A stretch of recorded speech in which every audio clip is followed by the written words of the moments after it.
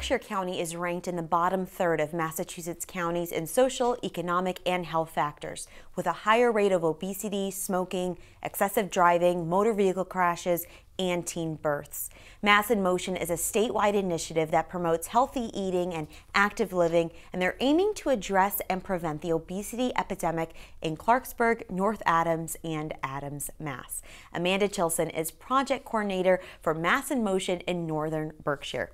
Thank you so much for coming on board today and talking to me, Amanda, about the different plans that you guys have in action. Let's start with the first one with helping kids in a rural area walk to school that almost seems like it would be at odds with each other. How do you guys make that work? Yeah, absolutely. Well, thank you very much for having me. I really appreciate it. I love any opportunity to talk about, you know, what, the work that we're doing in North Berkshire and Mass in Motion itself as the initiative is an amazing opportunity to help with the health and wellness and the obesity epidemic that's across the state and nation. So specifically Safe Routes to School, um, one piece that we were told as we started Mass in Motion was to really gear it towards your community. You know, what does your what are your community needs and what is your surrounding environment that you have to work with? So being a rural area for Clarksburg, for instance, um, very, you know, it's back roads. So um, one thing that we're looking to do is they've created some trail systems behind the school um, in the wilderness, in the woods. And so, one, you know, a few years down the road, when they're actually all complete, the possibility of having children walk to school in a group together, you know, some walking school buses that would come through the trails leading up to the school. But they were actually the first out of those three communities to um, jump right into biking to school. And these would be well lit. I mean, because when you think of right. in a rural community and these exactly. trails in the middle of nowhere, exactly, they would be safe. They would. Yeah, I mean, what would happen is when they walk to school, it would it would both be during the day. You know, so we wouldn't have to necessarily worry about the lighting to start. You know, um, definitely if they're getting used more and more so, and that becomes a community demand, then maybe we would look into it. But um, when they walk to school, there'd be parent volunteers. There's a really neat um, program. It's a walking school bus through Safe Routes to School, and um, they have parents or seventh, eighth graders that would kind of lead that walking school bus. So you'd have a mix of people walking and it'd be in a larger group. And I guess um, it promotes that healthier overall look at you walking more often and yes. being healthier, not just in your eating habits, but also right. getting more exercise, which surprisingly is harder in a more rural area to really embrace that. Why is that? Absolutely. I think the tough part is the resources, you know, that are available. Um, and I think the the concern as well you know really having that be in the forefront. So walking and biking necessarily you know aren't in the forefront for you know north berkshire. We're moving in that direction but we, we were lacking some of the infrastructure some of the bike lanes the signage um, and just the know of the drivers. You know i think that because that used to be the way and then there was a culture shift and driving became the number one mode of transportation we're trying to bring the walking and biking back.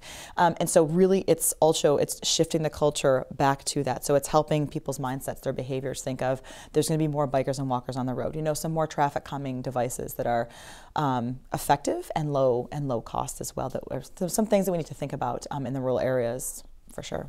So you're not even just talking about the outside. You're now bringing the focus to nutrition and exercise inside with a big proponent being the nutrition mm-hmm. and having local foods. How is that going? Are you getting a lot of different companies on board or farms that are being able to provide that fresh food and produce, produce and organic um, fruit and vegetables? Yeah, absolutely. So um, it's definitely a mix. I think again, working in a rural area, we have a limited amount of farms. You know, we have to think about. We have to think about transportation as some of the food that's coming to the schools is already being driven from, um, you know, a far out place, and also thinking about the budgets that the school have to work with. And being a smaller school, the budget they have to work with is also a little bit smaller.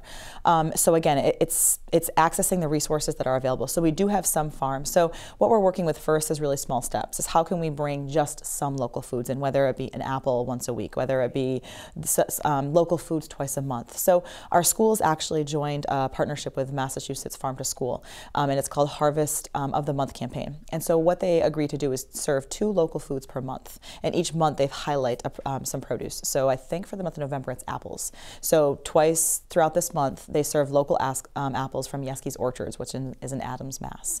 And they work one-on-one with the farmers so that they work about you know the payment plans, the procurement plans, and you know the transportation, whether the orchard delivers it directly, whether it, the distribution services that they're using, you know, swing by and pick them up. Um, so there's definitely, I feel like, a lot more loop, yeah, loopholes to kind of jump through in, you know, in the rural communities for sure. Now the kids, are they as on board with this? Because let's be honest, kids, if choosing between a candy bar and an apple, probably aren't going to choose the apple. How are yeah. the kids' reaction to kind of this new way of thinking? Absolutely, it's, it's definitely a mix. Um, and talking to some, you know, some of our schools and throughout North Adams, Adams, and Clarksburg, they've seen actually the school um, lunches decrease. Of the amount of children actually buying the school lunches, um, you know, because they had to kind of work in the regulations and bring them into the lunches immediately. There was no kind of simple transition where the kids could begin to experiment and try those foods. It was like, okay, we're jumping in, whole grain this, whole wheat that dark green, you know, all of that kind of thing. And a lot of it you have to acquire a taste for, especially if you haven't had them in a, in a long time or ever. So um, the, we're trying to, you know, kind of take that simple avenue of doing it. But what we've found really helps is to have a farmer come in, is to really connect the kids with the farmer, whether they go to the farm or the farm comes to them, um, and have some type of experience and do some type of project with them and sample the foods. Then, then we've what we did is we served those same foods that same day at lunch, and the kids were ecstatic because now they know the farmer, they've seen the food, maybe they've even gone to the farm, and they just are so amazed that it's right here in their hometown.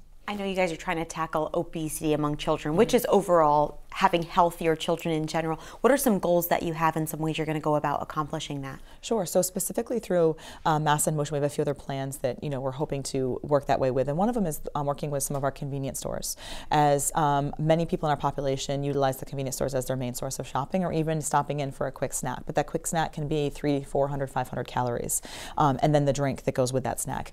So one of the one of the things that we're looking to, and this is really in the initial stages, um, this plan specifically, is work with with healthier options, whether it be working with what they have and helping to create incentives for people to encourage them to really want to buy that. Because I think sometimes when it's new, having that external incentive to say, hey, if I buy so many of these, I get a gift certificate or whatever, all starts to um, bring on that internal incentive of this. I'm, I'm, starting to feel good. I'm eating healthier. This this feels really good. Um, so you know, working with the convenience stores, also working with our farmers markets as well as another huge piece.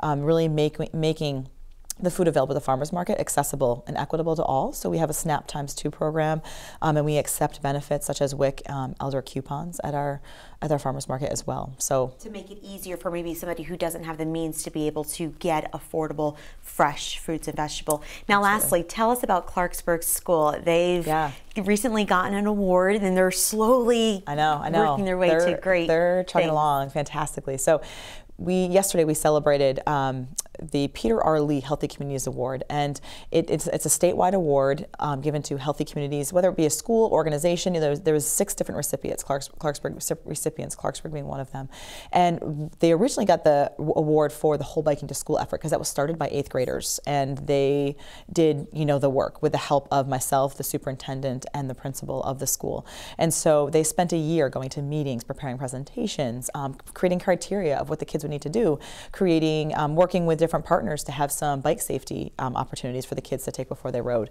and then getting public safety and different people on board for the actual, in May of 2013, we had our first bike to school day in 20 or so years that Clarksburg kids got to ride. And so from that, it, I mean, it wasn't just biking to school, it was just creating a healthier community. It was creating a partnership with the town that's now an amazing partnership that they've established. Um, it's that trail system behind the school and bringing on some partners to help that happen. They have what's called a Gaga pit um, at the school, which provides an amazing opportunity opportunity for physical activity. They have been a big um, push in the local foods, you know, bringing them into Clarksburg, you know, and, and the food service director is like, I'll just do what I can, you know, I'll make the budget work to make that happen. And the next step is just bringing this all to Northern Berkshire. Thank you so yeah. much, Amanda Chilson. Yeah, thank, thank you. you.